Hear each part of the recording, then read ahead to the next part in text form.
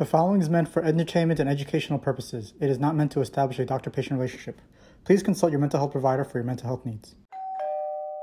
Hello, welcome to Chez Eric, my home, where we talk about psychiatry and religion with a focus on how to apply to your life. Today, we'll be talking about William James's varieties of religious experience, and this is part two uh, on lecture one. I think it's uh, religion and neurology. And this is where James continues uh, his discussion. Last time we talked about two separate questions of religion that he kind of separates out. The first one is what is the religious tendencies or what are its origins and, and things like that. And the second was what is the significance of the religious things that we're looking at. And he says that these are two distinct and different questions and we shouldn't mush them together, that one doesn't answer more than the other one. And he actually goes into detail here he kind of points out that religious life tends to make people fairly eccentric and exceptional.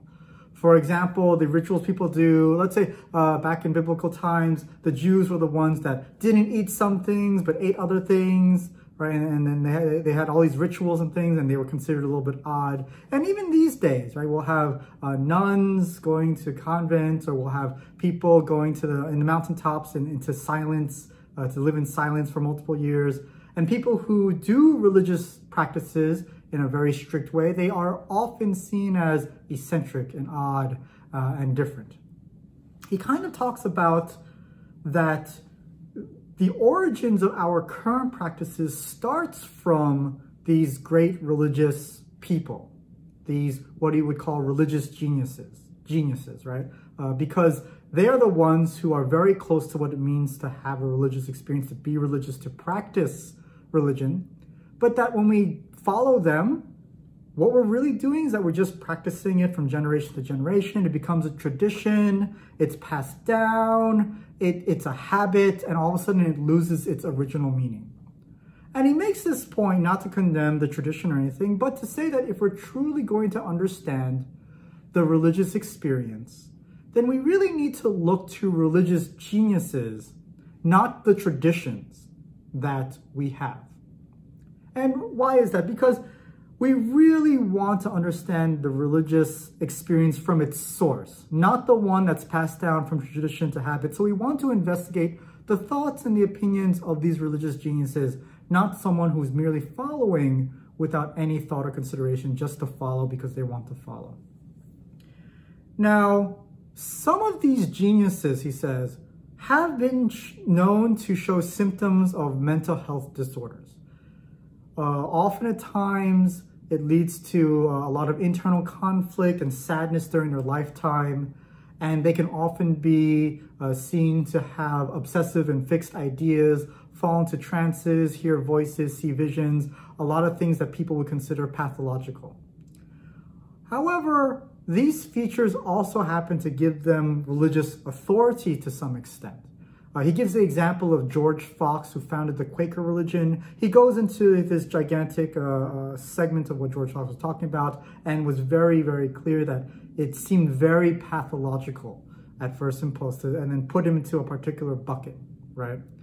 And when we find a problem, right, when we find a situation that seems pathological, the very first thing we want to do is to find a cause, right? And we try to find a cause, and we often try to find a biological one. And this is where William James goes into what we call medical materialism, which suggests that religious experiences can be explained medically or biologically. For example, uh, St. Paul's visions were caused by epilepsy, or if you saw my Joan of Arc series, Joan of Arc's could have, you know, visions could have been caused by epilepsy. And that's the true origin of these religious experiences of seeing saints or seeing visions about God. Now, he acknowledges that it could very well have been caused by epilepsy, but he challenges that even if these experiences can be explained medically, the problem is when people then conclude that it is worthless. And I think that's the kind of the, the the, the connection he's saying that is a very unfair connection. So think about it for a moment. What if we could identify that your belief in God came from a chemical process in your brain? What would you say? I think a lot of people would be very offended by it. I think a lot of people would say, no, that's not okay. It's really it's a really weird thing to say just a chemical." That if I inject you with a chemical, then you would then believe in God, and if I inject you with another chemical, you would then not believe in God. I think that that is what medical materialism seems to suggest, that all of the beliefs, all the experience that we have come from a biological source. But what William James would suggest is that just because it comes from a biological source doesn't mean that it is worthless. That's the leap in logic that he doesn't like because he kind of separated the two questions out in the last lecture, last part of the lecture, of lecture one, last part of what I'm doing. He separated the two questions out to be the difference between the religious tendencies or its origins, right, versus the religious significance. And even if, he says, even if there's a biological source for your belief, even if you got the vision from an epileptic episode, it doesn't mean that it's worthless. We have to look at the significance to the of the experience to truly understand what it means. And that's what requires a spiritual discernment of some sort, a spiritual judgment of some sort. And it would be illogical and arbitrary to only look for biological and medical causes for what we deem to be pathology and not look for it in terms of healthiness and, and other things uh, like that. So, therefore, he says we should really focus on the significance of these experiences not so much its origin. So, what are your thoughts?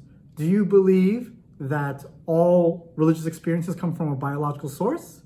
If so, do you believe that if you change the way, uh, if would it change the way you view religion? That if it's from a biological source, therefore it isn't real, or does it change your you know belief or disbelief in God? You know, if you were to understand that there's a biological source for religion. Where does the origins of religion being from a biological source, where does that fit in your view of the world? All right, I hope you found that interesting, uh, and I'll see you next time. Hope you're enjoying the series. Do like and subscribe. Bye. Hey, just wanted to give you a small update on the book that I'm writing. I'm going to be changing the title to Welcome to Chez Eric, Psychiatry and Religion to Improve Your Life. It seems to be more fitting. The other one was a little bit of a mouthful.